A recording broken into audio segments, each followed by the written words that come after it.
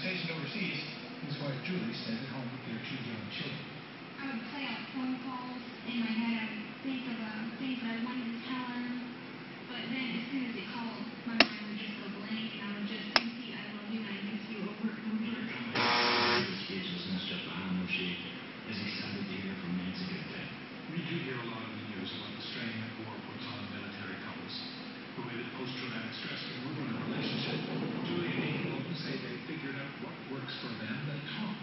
you talk about all the little things you might not otherwise want to learn.